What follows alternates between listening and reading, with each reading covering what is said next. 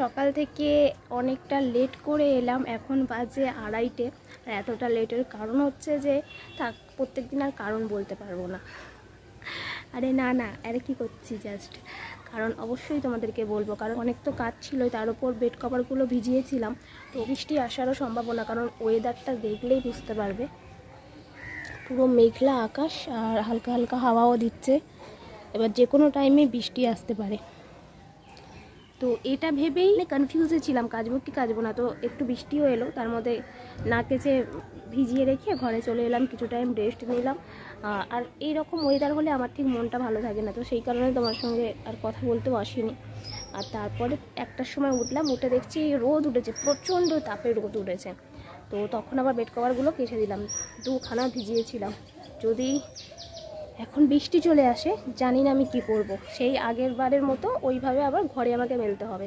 তো দুখানা bed cover তাড়াতাড়ি করে কাচলাম, কেচে রোদে দিয়ে মানে রোদ তো নেই এখন, যখন দিয়েছিলাম তখন রোদ ছিল। যাই হোক, এইভাবে হাওয়াতে মেলে, তারপরে আবার গেলাম স্নানে।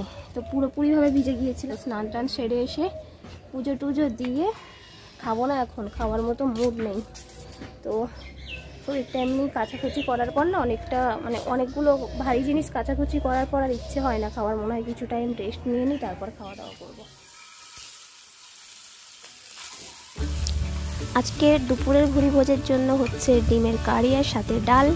তো ডিমগুলোকে আগে সেদ্ধ করে ভেজে নিয়েছি, তারপর দিয়ে দিলাম পেঁয়াজ আর আদা রসুন। তো প্যাকেট কিনেই এনেছি, সেটাকে দিয়ে দেবো। আর এখানটা বেটেছি জিরে, কাঁচা লঙ্কা তো এইগুলোকে বাটা হয়েছে? কারণ শুকনো লঙ্কা দেওয়া হবে না। আর এখানটা ধনে গুঁড়ো দিলাম, কাশ্মীরি রেড চিলি পাউডার দিলাম, পরিমাণ মতো নুন, আর অল্প একটু তেল দিয়ে দিলাম, কারণ তেলের পরিমাণ অনেকটা কম হয়েছিল। তো এটা দিয়ে মশলাটাকে ভালো করে ভেজে নিয়ে তারপর ডিমটাকে দিয়ে কিছু টাইম নাড়াচাড়া করে দিয়ে দেবো। এবার জল পরিমাণ মতো, তো জল দেওয়ার পর ফোটাবো। তো ফোটানোর পর যখন জল থেকে আবার তেলটা আর কি, জলটা কমে গিয়ে তেলটা উঠে আসবে, সেই সময় আমি নামিয়ে নেব। সামান্য একটু ঘি আর গরম মশলা গুঁড়ো দিয়ে। তো দেখতেই পাচ্ছ, জলটা আর কি মরে গিয়ে তেল উঠে এসেছে। তো এবার ঘি আর গরম মশলা দিয়ে নামিয়ে নেব। তো রেডি আমার ডিমের কারি আর ডালের তো ফোড়ন কী কী দিই তোমরা জানোই। সেই কারণে আজকে একটাই দেখালাম, ডালটা অন্য কোনো দিন দেখিয়ে দেবো।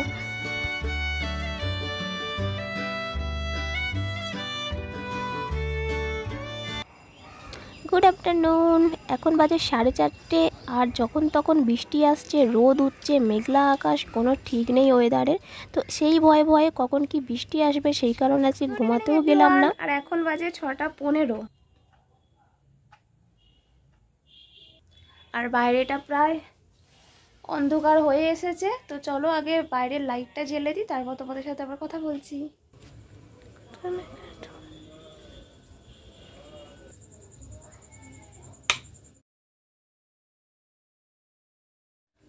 বাইরের লাইট তো জ্বেলে দিয়েছি।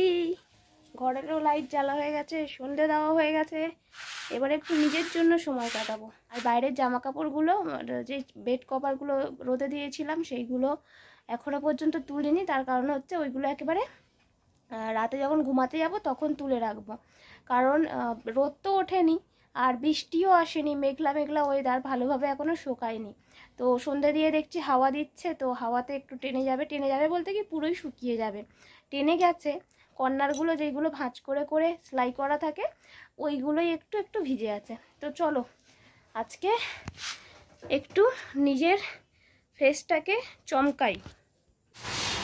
খুব জোরে বৃষ্টি নেমেছে আর জাস্ট বাইরে জামা কাপড়গুলো দেওয়ার ছিল, সুবর্ণ হাঁক মারলো তাই, না হলে যদি আমি ঘরে থাকলে তো অতটা শোনা যায় না। তো হাঁক মারলো আবার গিয়ে সব জামা কাপড়গুলো তুললাম। আর সুবর্ণ কিছু কাজ করছিল বাইরে বসে বসে এই জায়গাটায়। তো দৌড়েছে বাথরুমে। আর জামা কাপড়গুলো হুড়মুড় করে তুলে নিয়ে এলাম। আর এই দুটো স্যান্ডো গেঞ্জি এগুলোকে উজালা দিয়ে রেখে দিয়েছিলাম, এগুলো এই সন্ধেবেলাতে শুকাতে দিয়েছিলাম। তো সব কটা আর কি, ভালো করে আবার এখানে দড়িটা তো খুলে নিয়েছি, তো দড়িটাকে আবার টাঙাতে হবে, তারপর আবার জামা কাপড়গুলোকে দিয়ে দিতে হবে। চমকানোর জন্য কি ইউজ করব? ডিং ডিং ডিং ডিং ডিং। এটা হলো নেচার্সের ডি টেন স্ক্রাব।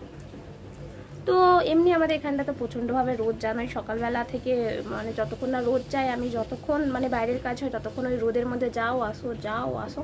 সেই কারণে এইটা নেওয়া। এইটাকে ব্যবহার করার পদ্ধতি হলো, যার যেমন ফেস পরিমাণ মতো আমার এতটা নিলে হয়ে যায়।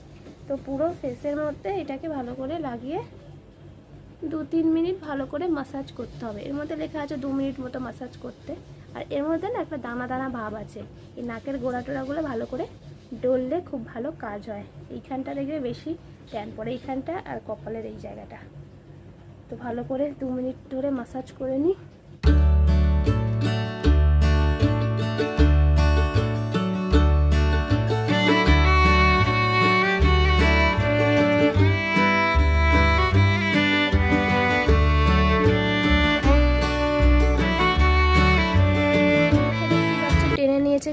আর গলাতে একটু দিয়ে দিয়েছি। আর যেই বলছিলাম, একটু দানা দানা যেইগুলো আছে, এই যে চারিদিকে লেগে আছে দানা দানাগুলো।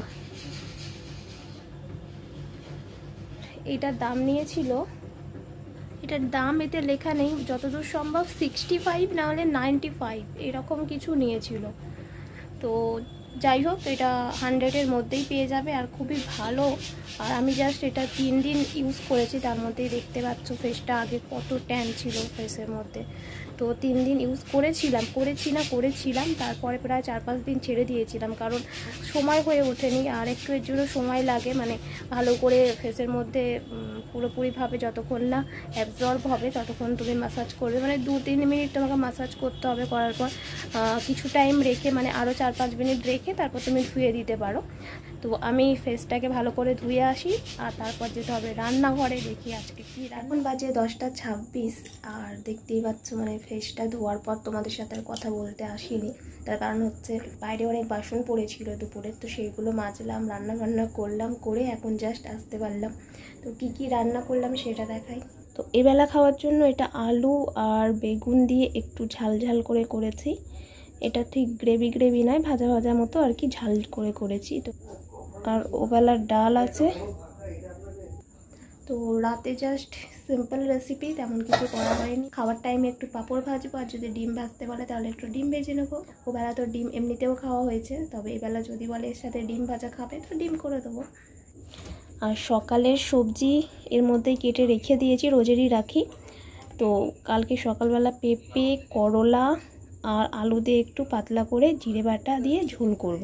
এটা সুবর্ণ টিফিনের জন্য কেটে রেখেছি। এতে আছে বটবটি, আলু আর কচু। এটা একটু মাখা মাখা করব। তো এই যাবে আর এর সাথে যাবে রুটি। তাহলে চলো তোমাদের সাথে আবার দেখা হচ্ছে পরবর্তী ভিডিওতে। সবাই খুব খুব খুব ভালো থেকো। আর গুড নাইট টাটা। আর সাথে সুইট ড্রিমস